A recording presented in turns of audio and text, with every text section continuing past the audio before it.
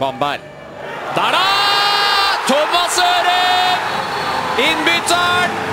Har ikke vært mange minuttene på banen når han bringer et nytt håp til Haugesund og til Jostein Grindhaug.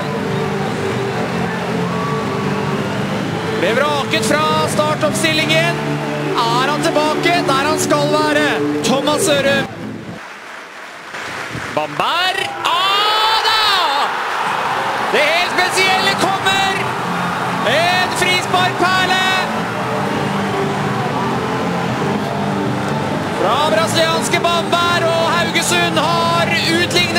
to kjappe skåringer.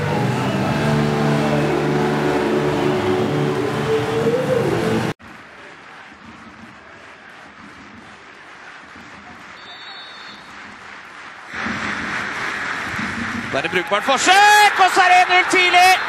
Haugesund eh, skårer 1-0. Og det er Bamberg med høyrefoten. Svensken skrur den over muren. Bamberg tar alt som er av dødballer. Svinger den inn, og her kan det bli farlig! For det er Søren som får stå helt umarkert.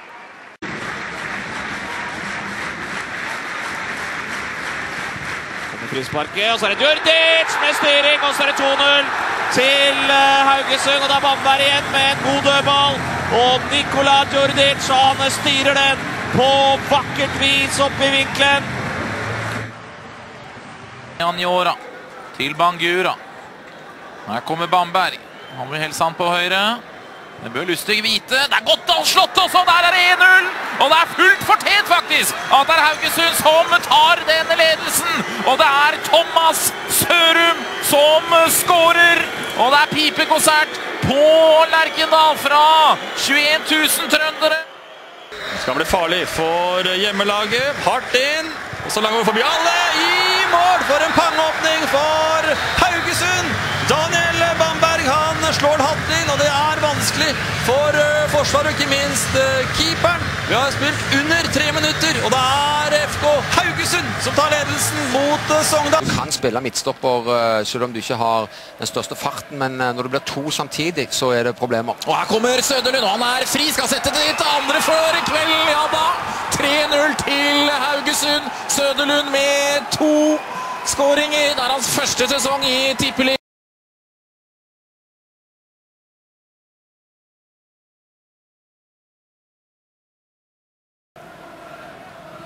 Så spretter den til Djurdjic, legger den til Sørum. Her ser vi samarbeidet. Og så blir Bamberg med også. Og han skyter i stolpen, og så hodet på høye. Og så er det Djurdjic som ikke greier å vente lenge nok. Mye å fyre av der. Han nesten traff bakhuet på høye og ikke i mål. Skal Bamberg fyre inn 3-3. Og er jevnt ut å få strukket seg, Jan Kjell Larsen.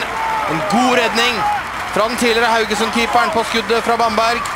Kan slå den rett på mål, men de har også folk oppå. Han slår den på bakerste. Nå var det Tronseth.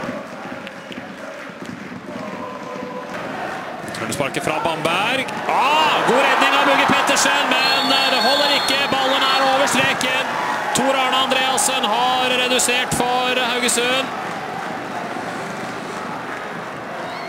Som er og blir et uh, trøstemål.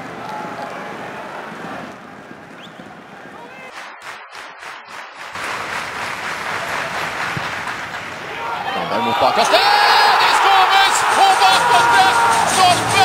Det var ikke nydelig innlegg fra Bamberg, som eh, Tom Erik Nordberg setter pannen på kontant i nettet.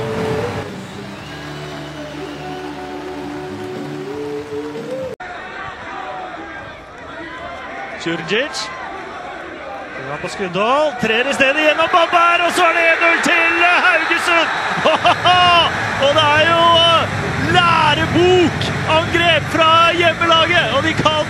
jubel løs, både på benken og på gressmatta.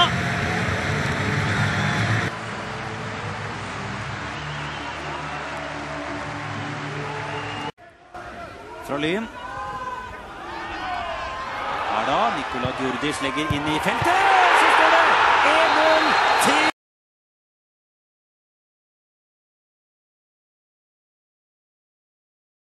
Bra bomber.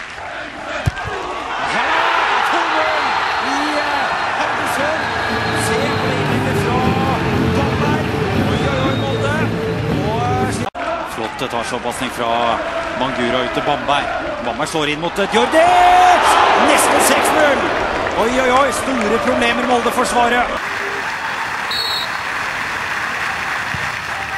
Berger som slår det frisparket. Og så er det Postniak som sender av gårde den ballen! André Hansen får eh, gitt retur, og det er en stor mulighet for eh, Haugesund.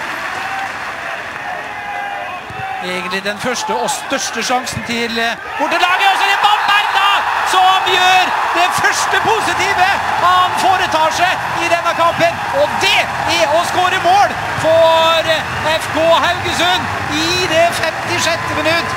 Mot spillets gang så tar altså Haugesund ledelsen.